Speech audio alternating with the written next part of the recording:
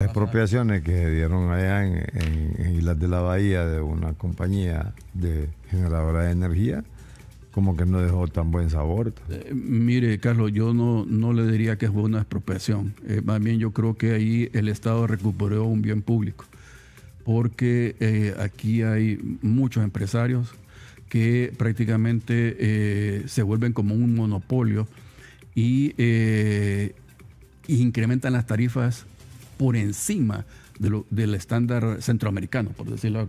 Entonces vende la energía sumamente cara y sin mayores inversiones. Entonces, eh, eh, por eso, eh, cuando se estableció que el servicio de energía eléctrica es un bien público, un derecho humano, entonces yo creo que apelando a eso fue que intervino la, la ENE, pero no es una, no es una, en ninguna forma es una, es una, yo no lo consideraría que es una expropiación. Pero un mal mensaje que deja o no se le va a reconocer, yo creo que tengo entendido, Carlos, que se le van a reconocer los derechos a esta empresa, se le van a reconocer los derechos, pero el Estado toma, toma eh, eh, ese servicio eh, bajo el principio del bien público.